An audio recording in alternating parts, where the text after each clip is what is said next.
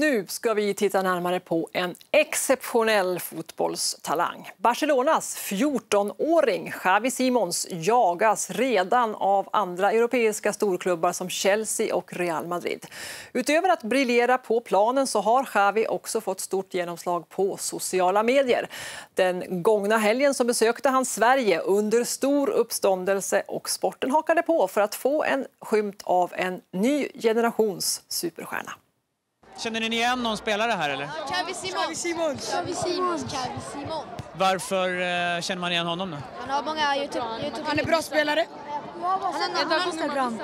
han har några videos på Youtube också. Men jag har sett hans första klipp på Youtube. Jag blev högst.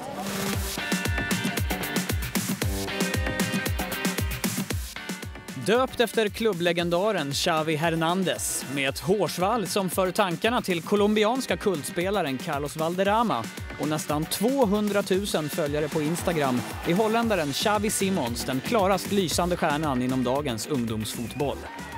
När storklubbar som Barcelona, Juventus och Arsenal den gångna helgen skickade sina mest lovande 14-åringar till Stockholm och turneringen Lennart Johansson Trophy hamnade Xavi som väntat i fokus. Men uppmärksamheten har sina baksidor. No es un bien para él eh, ser tan famoso en un niño de 14 años porque puede ser que lógicamente le vaya bien la vida a nivel futbolístico, pero puede ser que no. Y entonces siempre intentamos calmar a todo el mundo.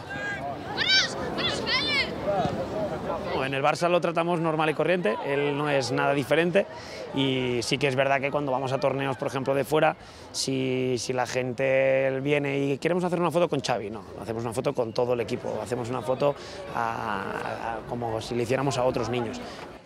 Xavi, ¿se puede hacer una pregunta? ¿Tu sueño como jugador qué es? Klubben tillåter inte akademispelarna att svara på frågor från median och inte heller Xavi Simons mamma är särskilt pigg på att prata. ¿Y cómo es para él, piensas, lo de las redes sociales y ser conocido en el extranjero y eso? Es una otra generación ahora y ya, pero, pero gracias, no quiero hablar. Ah. Gracias är man exceptionell som han är, eller som en sån typ av fotbollsspelare, så brukar man bli bra senare också. Sen är frågan hur bra. Alltså det, man kan bli bra, det kan bli riktigt bra, men frågan är hur bra. Det kan bli så att han spelar i högsta serien i framtiden, men han kanske inte blir Messi.